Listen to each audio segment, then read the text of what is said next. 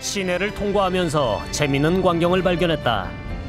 한껏 꾸민 여인들을 실은 오토바이가 줄지어 한 곳으로 가는 것이다.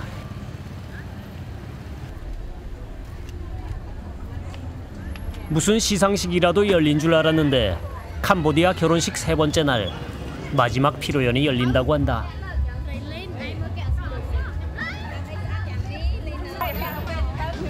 화려하게 드레스를 입은 여인들 무엇보다 2박 3일 동안 결혼식을 치르는 신혼부부의 표정이 제일 궁금하다. 하객들 만느라 인사하기도 바쁠 텐데 신부는 하객들에게 열심히 볼펜을 나눠준다.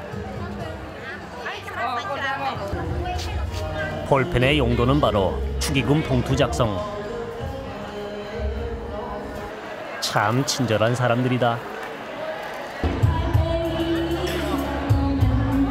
이곳이 바로 요즘 캄보디아에서 가장 뜨는 피로연 전문 식당이라고 한다.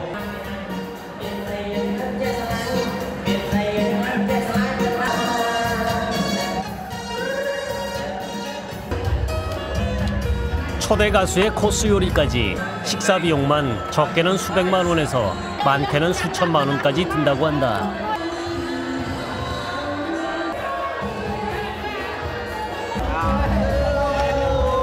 즐거운 자리에 술은 필수. 캄보디아 사람들의 맥주 사랑은 아무도 못 말린다.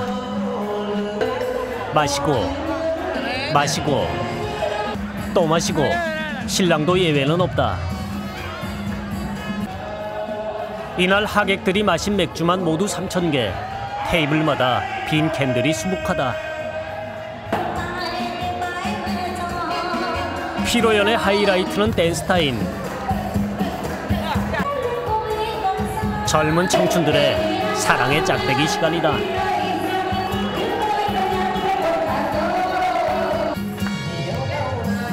음악만 바뀌었을 뿐 캄보디아 결혼식의 아주 오래된 전통이라고 한다.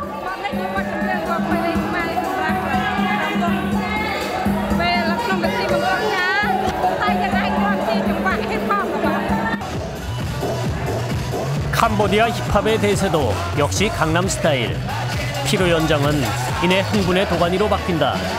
아무래도 다음 결혼식의 주인공이 나온 것 같다.